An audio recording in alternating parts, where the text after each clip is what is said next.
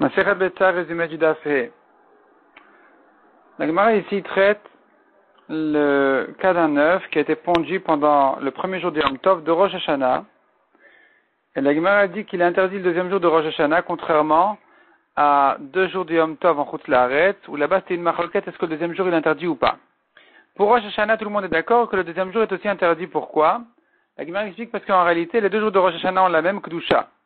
C'est-à-dire qu'il y a une différence entre Chutz et Rosh Hashanah. Un Yom Tov de Chutz la raison pour laquelle on fait deux jours de Yom Tov, c'est parce que tout simplement on ne sait pas quel jour a été fixé Rosh Chodesh. Est-ce que c'est le premier jour ou le deuxième jour? Et dans le doute, on doit respecter les deux jours de Yom Tov. C'est pour ça que, en ce qui concerne l'œuf qui était pendu le premier jour, je peux dire le deuxième jour il est permis Miman Afshar. Si le premier jour était Kodesh, le deuxième est Chol et si le premier jour était Chol, et si le, deuxième jour est Kodesh, le premier était Chol. Pour Rosh Hashanah, on ne dit pas comme ça, parce que nous avons une halakha spéciale en ce qui concerne Rosh Hashanah qui dit qu'on n'accepte pas, on ne reçoit pas, on ne reçoit pas les témoins qui viennent euh, l'après-midi du premier jour de Rosh Hashanah. Ils viennent témoigner qu'ils ont vu la nouvelle lune pour fixer le premier jour Rosh Chodesh et Rosh Hashanah. On va les, on va pas les recevoir. Et donc, le Rosh Chodesh et Rosh Hashanah sera reporté au lendemain. Il y avait une raison spéciale parce que ça perturbe la, le chant des Lévim dans les corbanotes qui ne savent pas si c'est un chant de Rosh Hashanah ou pas.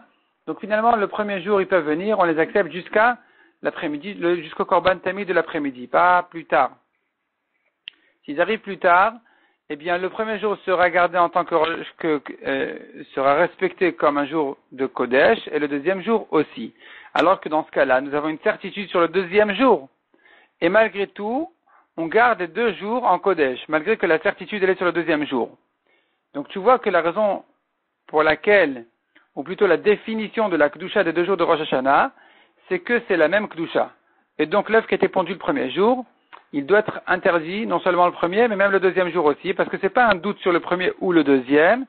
Il se peut que les deux aient une Kdusha, une longue Kdusha. La Gemara dit, une fois que le Beth a été détruit, Rabban Yochanan ben Zakkai a institué de recevoir les témoins de la lune jusqu'à la fin de la journée.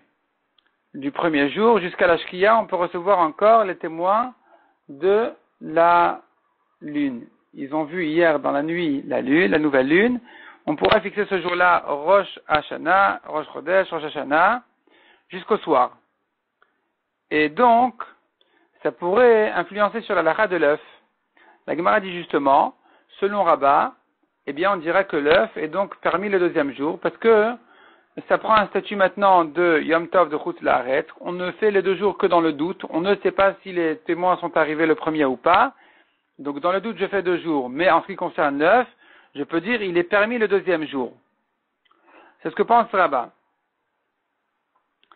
La Gemara c'est-à-dire qu'en réalité, en Eretz Israël, on dira que le deuxième jour, l'œuf est permis, parce que ce n'est qu'un doute sur le premier ou le deuxième, mais en route la arrête, puisqu'ils n'ont pas vu de différence entre le Batamikdash et après le Batamikdash, de toute façon on faisait deux jours de Yom Tov pour Rosh Hashanah, alors chez eux, on va garder la première halakha qui disait que du temps du Batamikdash, l'œuf est interdit le deuxième jour, alors aujourd'hui encore, il interdit le deuxième jour. Mais en Eretz Israël, puisqu'ils ont vu un changement, ils ont vu que des fois on reçoit les témoins le premier jour et que le premier jour est Kadosh, le deuxième ne l'est pas. Alors, alors euh, puisqu'ils connaissent une situation pareille, donc finalement, eux ne feront les deux jours que dans le doute, s'ils n'ont pas entendu qu'est-ce qui s'est passé finalement. Et donc l'œuf serait permis le deuxième jour. En Eretz Israël, oui, et en route Laret, non. Selon Rav Yosef, il faut interdire même en Eretz Israël l'œuf le deuxième jour. Pourquoi? Puisqu'il a, été interdit à l'époque du Beth même si la raison s'est annulée une fois que le Beth a été détruit et qu'on reçoit les témoins jusqu'à la fin de la première journée, du premier jour, et que donc finalement on ne fait que deux, on ne fait deux jours qu'en tant que ça fait, qu'en tant que doute, malgré tout l'œuf a été interdit, il faudrait qu'il y ait un bedin aussi important que le premier bedin qu'il interdit pour le permettre. Et là-dessus, la Gemara ouvre toute une grande discussion.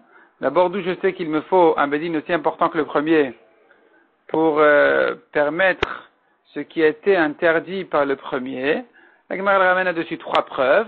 Une fois que la Gemara a ramené trois preuves qu'il faut permettre une chose qui a été interdite, et je ne dis pas que si la raison elle est tombée, alors c'est permis automatiquement. Non, il faut que ce soit permis euh, clairement, explicitement.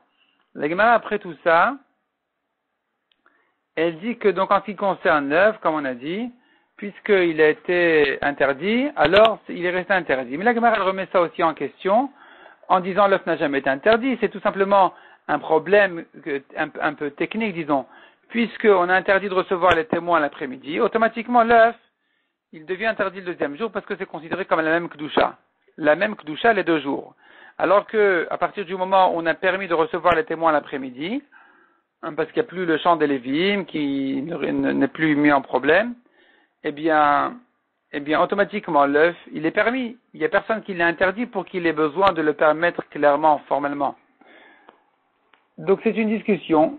La Gemara ramène d'autres raisons d'interdire l'œuf le deuxième jour, même après qu'on reçoit les témoins le deuxième jour, pardon, jusqu'à, jusqu'à, jusqu'au soir c'est de dire que quand le Batamikdash sera construit et que, à nouveau, on va, on va reprendre la première. Takana qui disait de ne pas recevoir les témoins l'après-midi de Rosh Hashanah trop tard, et que donc, on retrouvera la définition que c'est la même Kdusha les deux jours, et donc l'œuf devrait être interdit le deuxième jour aussi, et les gens ils vont dire, mais avant le Batamikdash, on avait permis l'œuf le deuxième jour, et ils ne sauront pas que la définition de Kdusha a changé. Qu'avant le Beth Amikdash, on considère les deux jours comme un doute. Donc, l'œuf est, permis le deuxième jour. L'œuf qui a été pondu le premier est permis le deuxième. Alors que du temps du Beth Amikdash, on considère la Kdusha des deux jours comme une seule et même Kdusha. Et donc, l'œuf qui est né le premier est interdit le deuxième. Et puisque les gens ne sauront pas faire cette distinction, ils vont croire que toujours l'œuf est permis le deuxième jour, qui est, a été pondu le premier. Alors, on va l'interdire on va l'interdire de, tout le temps. Le deuxième jour sera toujours interdit. L'œuf sera interdit même si on n'a pas le d'âge et qu'on reçoit huit les témoins jusqu'à la fin du premier jour et que ce n'est qu'une question de doute, comme on a dit. L'œuf est interdit. La Gemara donne encore une raison de plus d'interdire l'œuf le deuxième jour.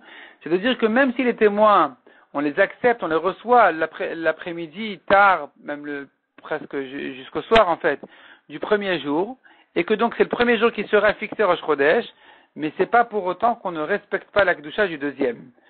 On respecte quand même l'akdoucha du deuxième jour par, euh, par, euh, c'est comme ça la takana, c'est par habitude. C'est comme ça qu'on on s'est habitué de faire et que on n'a jamais permis de faire des melachot le deuxième jour depuis qu'on a décidé de recevoir les témoins jusqu'au soir. Donc c'est resté comme ça. C'est resté comme ça et donc finalement ça reste une kdusha les deux jours, et l'œuf est interdit donc le deuxième. La Gemara tranche la lacha comme Rav, qui dit que pour Rosh Hashanah, un œuf qui a été pondu le premier, il est interdit le deuxième jour encore.